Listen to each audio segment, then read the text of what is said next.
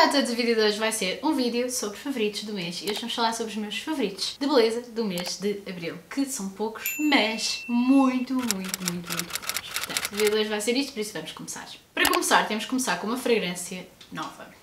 Vocês sabem que eu amo perfumes. A minha coleção de perfumes está assustadora e não ralhem comigo, por favor, nos comentários, porque eu sei que eu não preciso mais perfumes. No entanto, devo dizer que os meus dois escadas, aqueles que eu disse que ia terminar, estão mesmo, mesmo, mesmo, tipo, assim. Portanto, eu vou terminar dois, tipo, no espaço do próximo mês, na boa. Portanto, olhem, eu senti que finalmente podia comprar um perfume que eu andava a namorar para aí há dois anos, que é um perfume da Maison Margiela, que é os Replica, eles têm vários, que é reprodução de... Eles chamam-se Replica porque, basicamente, isto é, imaginem, os nomes das fragrâncias são momentos específicos de vida e as fragrâncias tentam tipo replicar esses momentos através da, tipo, da memória olfativa, sabem? Portanto, no caso, este é o Beach Walk, portanto, caminhada à beira-mar, e literalmente faz lembrar uma caminhada à beira-mar. Tem tipo outro que eu adoro, que é o By the Fireplace, parece que vocês estão ao lado de uma lareira. Também amo o Coffee Break. Estão a entender o estilo, né?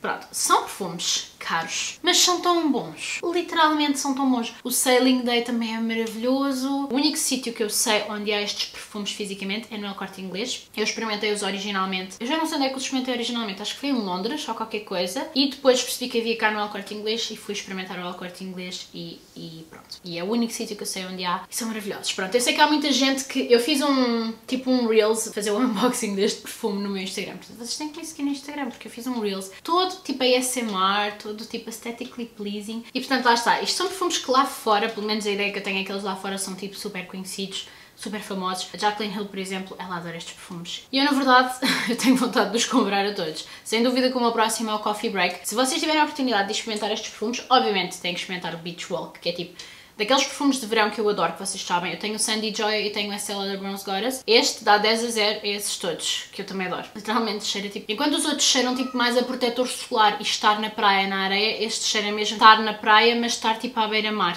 É mais tipo estar na praia ao pé da água, mais água de praia, do que propriamente na praia com o protetor, a pôr o protetor solar a torrar ao sol, se é que me entendem. Não sei se descrevi bem, mas pronto. Depois tenho dois produtos de skincare que tenho que falar, sendo que este já apareceu numa vídeo de skincare routine, mas eu comprei-o tipo final de março ou meio de março ou qualquer coisa e ele ainda não apareceu em favoritos do mês, portanto tem sem dúvida que aparecer. E este eu comprei logo a seguir ao meu vídeo de skincare routine, que foi logo na primeira semana de abril, para, portanto, para me habituar, já vos explico melhor, para me habituar antes de passar para a Paula's Choice. Então, este é o Fulvic Acid, são os dois da Inkilist. Este é um cleanser, é o Fulvic Acid Brightening Cleanser. Este é um cleanser novo da Inkilist, que é à base de ácido fúlvico. E ele tem tipo assim uma textura meio entre a gelatina e parece ter umas partículas, mas ele não faz esfoliação tipo física, faz uma esfoliação muito, muito leve até. É aquela esfoliação que até a pele mais sensível consegue aguentar, ok? Uh, e deixa-vos a pele luminosa. Portanto, é uma esfoliação química através do ácido fúlvico. Podem utilizar dia e noite. É bom para retirar a maquilhagem. Se quiserem com água, ele faz espuma para lavar o rosto. Eu tenho utilizado mais assim. 150ml, ele custa tipo 12 ou 13 euros. Portanto, é super em conta para a quantidade que vem. E a pele realmente fica limpa, tira bem a maquilhagem e fica super, super, super luminosa. Estou a adorar e acho que, acho que vou continuar a utilizar este. Porque, sinceramente, embora eu tenha curiosidade com os outros cleansers, por exemplo, da, da Inky List, tipo, eu adoro este, não me vejo sem ele. E depois comprei o retinol também da Inky List. Assim, para contexto vocês têm que ver o meu vídeo de skincare routine que eu vou por aqui. Eu estava a utilizar Granactive Retinol e queria passar logo para retinol. Houve muita gente que me disse para me habituar primeiro a uma concentração baixa de retinol. Portanto, eu percebi que este da Inky List eu queria passar para o da Paula's Choice, que é só retinol, sendo que eu estou a fazer outro derivado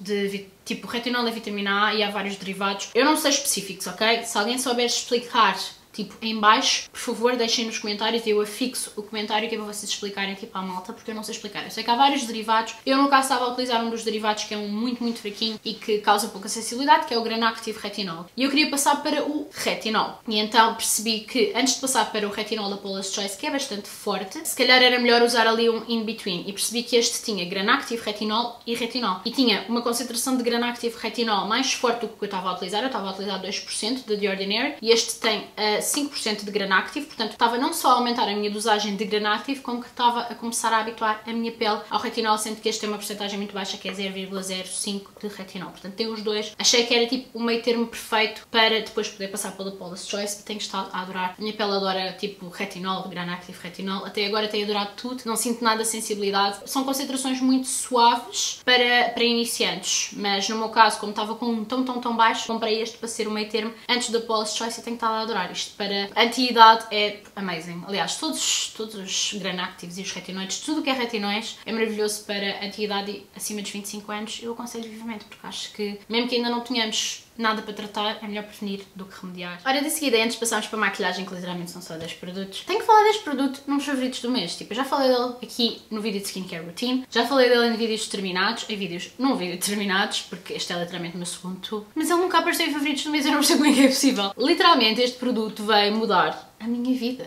e as minhas sobrancelhas. É o produto que eu tenho estado a utilizar desde dezembro para crescer as sobrancelhas, que é da Elizabeth Daniel Prevaz Clinical Lash and Brow Enhancing Serum, que é este produtinho aqui que é extremamente caro, mas literalmente super caro, e basicamente traz um sérum transparente que vem assim em pincel, parece tipo um pincel da eyeliner. Este é o meu segundo tubo, eu utilizei o primeiro tubo desde, tipo, todos os dias, literalmente, de dezembro até final de março, portanto, um tubo dura imenso tempo, embora seja caro. Eu aplicava uma quantidade generosa todos os dias, principalmente nas sobrancelhas. Vocês até, não, se forem ver o meu vídeo, aquele vídeo que eu fiz dos 30 dias da, do Sun By Me, daqueles produtos da Sun By Me, eu vou por aqui o vídeo. Esse vídeo não tem nada a ver com sobrancelhas, mas vocês até podem ver, só para terem uma noção de o que é que 30 dias a utilizar este produto faz. Sendo que vocês vejam um vídeo meu do início de 2020 e vejam um vídeo meu agora a maquilhar-me, tipo completamente desmaquilhada, e vocês veem uma diferença de tipo as sobrancelhas. Não, tipo, não tem nada a ver, vocês não estão a perceber. Eu não pareço a mesma pessoa, literalmente. É um escândalo como este produto funciona em mim. Eu não sei se vai funcionar igual em toda a gente, mas em mim funciona tão, tão, tão, tão bem que eu, eu não quero estar sem ele. Portanto, eu acho que vou continuar durante o ano inteiro a utilizar este produto porque eu acho genial. Quanto às pestanas, se calhar dá um bocadinho mais forte, ou se calhar caem menos pestanas quando me desmaquilho, que eu sentia que me caíam muitas pestanas, mas assim, assim a diferença é mesmo escandalosa, é sem dúvida a, a sobrancelha. Eu amo este produto profundamente e fiquei chocada, tipo, de perceber que ainda não tinha aparecido no favoritos do mês. Ok, agora por fim só tenho dois produtos de maquilhagem para falar, que eu utilizei muito durante o mês. Especificamente, este batom eu já não utilizava há imenso tempo e ele está quase a acabar e eu pensei, olha, vou experimentar. Eu lembro-me de adorar estes, estes batons de tatuagem coturra, já tive mais cores até, que é a cor 16, que é o que eu estou a utilizar aqui, que é tipo, eu acho que a melhor maneira de descrever é tipo salmão terracota. É uma cor muito bonita, não é laranja, não é vermelho, não é, não é rosa. Sabem? Eu não sei descrever bem esta cor, mas é uma cor particular e bonita. É mate, mas a cena é que estes tatuagens couture são a fórmula das fórmulas mate mais confortáveis sempre. É, quando aplicam é tipo completamente água, seca fino e mate, sente zero tipo, sente-se mesmo zero, não se sente aquele acabamento empoeirado, não se sente cremosidade, não se sente pegajoso, não se sente nada, é como se não tivesse nada nos lábios. E quando se, quando se aplica no, no, no lábio tem cobertura, portanto tem imenso pigmento, cobre super bem, mas é fresquinho na aplicação, parece que estão literalmente a aplicar uma água nos lábios. E eu este mês tenho utilizado bastante, não só porque é a fórmula, e já não me lembrava do quão boa a fórmula dos tatuagens couture é, como também adoro a cor, porque é uma cor muito particular. Acho que é mesmo aquela cor perfeita de, ainda não é verão, mas também já não é inverno, sabem? Tipo, não é rosa, não é laranja, não é vermelho, que é super comfy, dura o dia todo, fica bonito, a cor é bonita, é diferente. Literalmente é... I love it. Eu tenho, eu tenho que voltar a ter tatuagem couture. Quer dizer, agora não é uma boa altura para estar a comprar batons líquidos, batons no geral, porque máscara. Retomando uma vida normal, eu acho que vou voltar a ter alguns destes porque são top. Ok, por fim, em semelhança ao Tatuagem Couture, voltei a utilizar o meu concealer da NARS e lá está, eu já me tinha esquecido do quão bom este concealer é. Quer dizer, não tinha esquecido, porque tipo, eu falo nele imensas vezes, mas eu já não estava a utilizar tanto e agora voltei a utilizar. Eu lembro quando fui para Nova Iorque eu salvei este concealer e quando fui para Londres salvei este concealer e na verdade não é nem que eu o comprei, que foi em 2019, eu tipo levei para todo lado e em 2020 eu pouco o usei, 2020, bem, foi um ano particular, não é? Mas lá está, ele já está para meio e a maior parte deste meio que ele está foi utilizado em 2019 e agora nas últimas semanas. Pá, isto é mesmo um corretor maravilhoso que eu aconselho. Mesmo aquela malta que tem muita olheira e quer algo com bastante cobertura, mas tem medo destes cremes, tipo, destes cremes em pote, que normalmente tem uma textura mais seca e que crava mais nas linhas, pá não. E não se assustem pelo nome Soft Matte, porque embora ele se chame Soft Matte, ele é extremamente cremoso e hidratante e ele assenta tão bem nas linhas de expressão, assenta tão bem nas zonas secas, é mesmo, ele é um soft mate. Ele não é um mate, ele é um soft mate. É soft, é cremosinho, ele